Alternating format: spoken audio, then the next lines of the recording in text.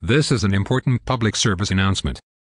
We have just received vital intelligence regarding the issue of wheels of cheese, and can now confirm with absolute certainty that wheels of cheese do, in fact, exist.